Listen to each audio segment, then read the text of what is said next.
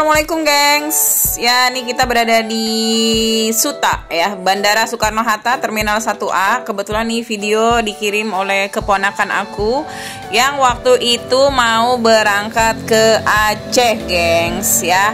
Ini sengaja aku minta videonya pada saat uh, dia take off dari Bandara Suta Terminal 1A ya menuju ke Aceh ya menuju ke Aceh ya. Sengaja aku minta videonya nih untuk di share ke kalian ya. Mungkin sasarannya ini untuk kalian yang belum pernah naik pesawat ya. Yang belum pernah naik pesawat terbang ya. Nih kira-kira kayak gini guys ya. Kira-kira ini seperti ini ya. Kalau kita naik pesawat jujur nih aku aja baru sekali doang naik pesawat ya. Itu pun pada saat perjalanan umroh ya waktu itu 9 jam di perjalanan dari terminal Bandara Suta ke Jeddah waktu itu ya. Ke King Abdul Aziz Jeddah 9 jam di atas uh, pesawat ya. Kita di, di dekat langit ya.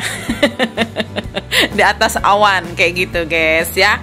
Nah ini pesawat Airjet ya. Pesawat Airjet dari terminal 1A Bandara Soekarno Hatta. Ya ini Bandara Soekarno Hatta yang kalau nggak salah di terminal uh, satu ini khusus untuk domestik ya. Khusus untuk di seluruh Indonesia aja ya. Jadi antar uh, pulau di Indonesia gitu gengs ya. Jadi bukan ke uh, dunia ya, bukan internasional. Kalau internasional itu di Terminal 2 dan Terminal 3 kalau tidak salah ya, kalau tidak salah karena aku juga belum pernah ke sini ya, ke Terminal 1 ini belum pernah. Kalau Terminal 2 dan Terminal 3 aku pernah beberapa kali untuk antar orang umroh dan kebetulan aku sempat diantar juga sekali. Nah, ini kita lihat ya prosesnya. Tadi jalan pelan-pelan ya, pesawat tadi ya. Tadi pesawatnya ini jalan pelan-pelan pelan-pelan. Ini udah mulai kencang kencang nih ya. Ini udah mulai kencang nah itu proses ya. Nah ini udah mulai terbang guys. Masya Allah. Tuh ya udah mulai naik. Hmm kayak gitu ya pada saat take off kurang lebih kayak gitu ya take off pesawat ya. Mungkin untuk kalian yang ngeri-ngeri sedep ya kalian jangan pilih bangku nanti di pinggir kayak gini ya. Untuk kalian yang fobia ketinggian ya jangan pilih bangku yang di samping kayak gini. Kalaupun kalian dapat uh, bangku yang di samping kayak gini ya udah jendelanya nggak usah dibuka. Kayak gitu ya.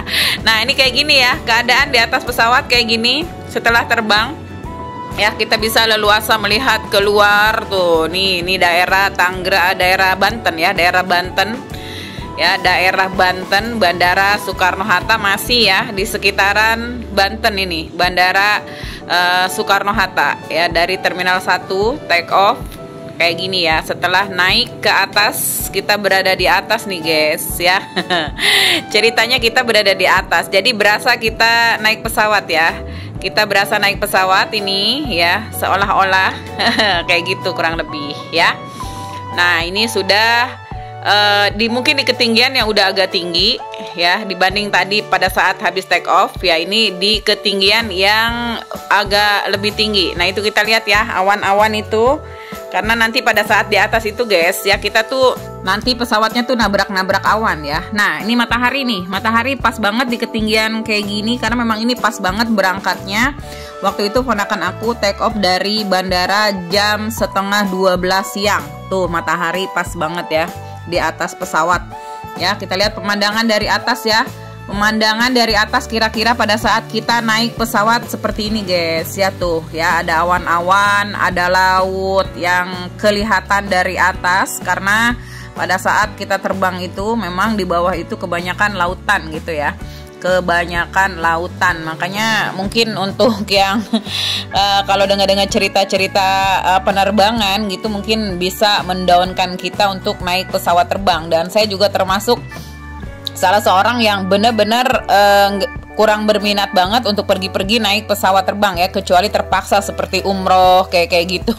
Ya makanya jarang banget kita uh, jalan-jalan ke luar daerah gitu ya karena memang uh, pilihannya itu karena salah satunya untuk yang tercepat itu naik pesawat ya. Walaupun kita berpikir ya memang uh, kalau nasib takdir kita nggak ada yang tahu ya tapi kadang-kadang ngerinya kayak gitu nih pada saat kita di atas seperti ini Masya Allah ya.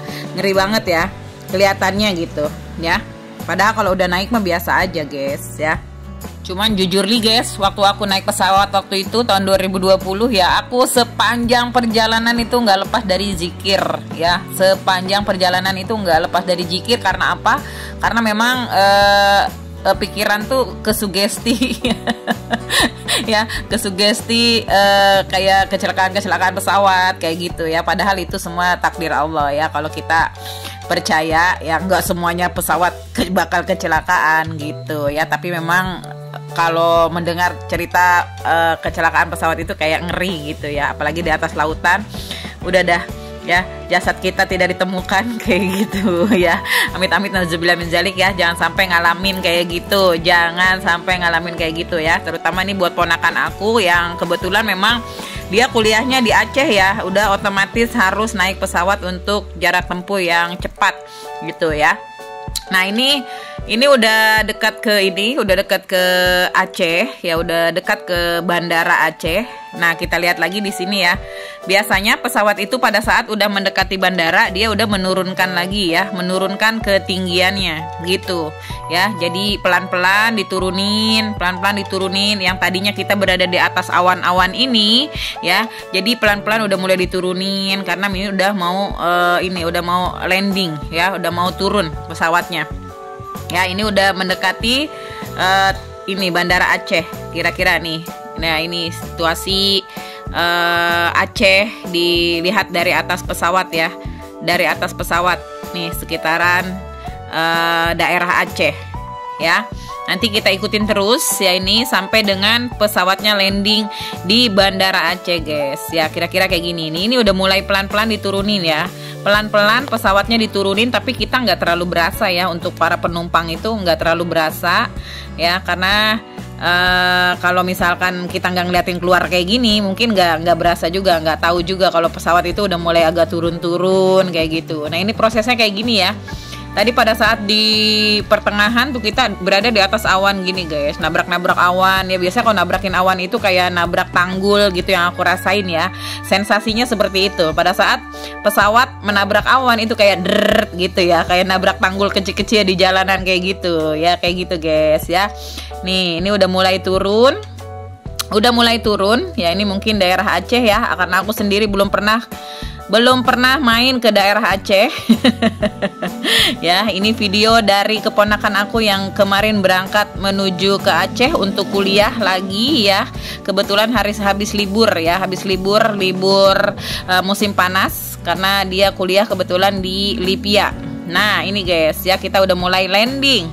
Nah, seperti ini kira-kira ya. Seperti ini kira-kira pada saat landing ya, sama dengan take off ya. Jadi jalan lagi kayak gini. Jalan lagi nanti dari kencang kencang kencang kencang jadi kebalikannya ya. Dari kencang terus pelan, semakin pelan nanti berhenti ya. Kebalikannya pada saat take off gitu ya. Nah, ini ya ini udah udah berada di uh, Bandara Aceh ya, udah berada di Bandara Aceh. Katanya nama bandaranya ini Bandara Sultan Iskandar Muda, Blang Bintang Aceh, guys, ya itu info dari keponakan aku. Ya mudah-mudahan videonya bermanfaat khususnya untuk kalian mungkin yang belum pernah naik pesawat gengs. Ya tadi ya.